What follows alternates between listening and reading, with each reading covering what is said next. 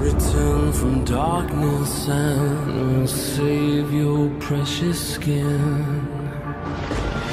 I will end your suffering and let the healing light come in. Sent by forces beyond salvation. There can be not one sensation.